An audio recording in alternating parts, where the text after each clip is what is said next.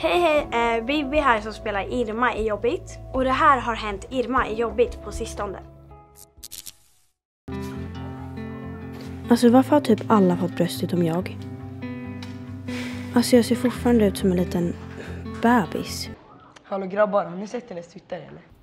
Alltså, Ellen är i alla fall störst. Ja, lätt. Okej, alltså det är något svart här. Får se på de här. Men gumman, det här är ju för lite äldre tjejer, du vet det va? Alltså det här är ju... Alltså den här är jättevacker.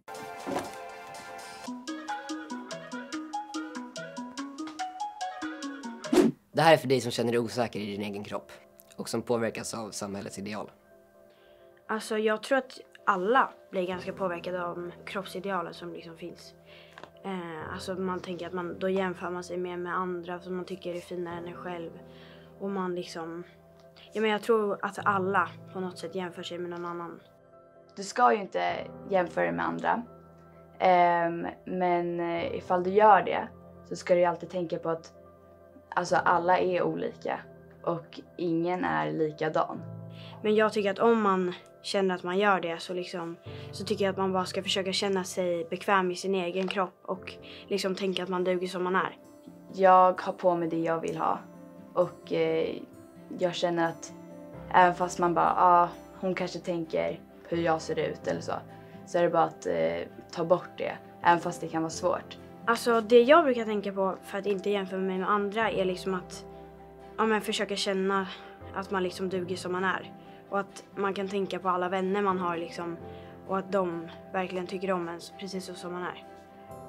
Om någon annan kommenterar din kropp, så, eller någon annans kropp, så säg till. Men det kan vara svårt.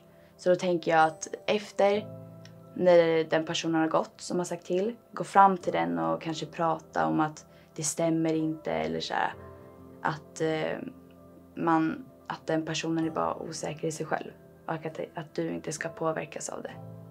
Det är inte okej att kommentera någon annans kropp. Det kan skapa stora komplex som någon har för livet. Även om du säger ett snällt syfte så kan det bli jobbigt för personen som får kommentaren. Saker som går att göra liksom för folk, alltså göra mot folk som liksom kommenterar någon annans kropp. Det är väl typ att bara berätta för dem att, alltså man kan tänka typ hur skulle du känna ifall jag kom och kommenterade någonting om dig? Alltså om hur du såg ut eller, eller hur din kropp ser ut eller någonting sånt. Tips nummer ett. Först och främst, kom ihåg. Allas kroppar växer i olika takt och det är okej. Tips nummer två. Alla har olika smak. Vad som inte är snyggt för en person kan vara det snyggaste någon annan vet. Tips nummer tre. Tyvärr är det vanligt att jämföra sig. Men till och med de du ser upp till jämför sig med andra. Tips nummer fyra. Gör saker i din egen takt. Om du till exempel vill ha bh, ha bh. Om du vill ha topp, ha topp. Om du inte vill ha något av det, ha inte det. Det är ditt eget val. Tips nummer fem. Luras inte av sociala medier. Allt är inte som det verkar. Många av dem du följer har kanske redigerat sina bilder för att ge en annan bild till sina följare. Tips nummer sex. Tänk på vilka du följer. Följ bara folk som får dig att må bra. Tips nummer sju. Om du har dålig självkänsla, oroa dig inte. Det är helt okej okay och det går att öva upp. Att ha en bra självkänsla betyder att man vet att man duger så som man är. Oavsett hur man ser ut eller vad man gör. Tips nummer åtta. Om du mår dåligt över hur din kropp ser ut, försök prata med någon. Prata med en förälder, skolsköterska eller ungdomsmottagningen. Du är unik och bra som du är. Jämför dig inte. Jämför dig inte. Jämför dig inte.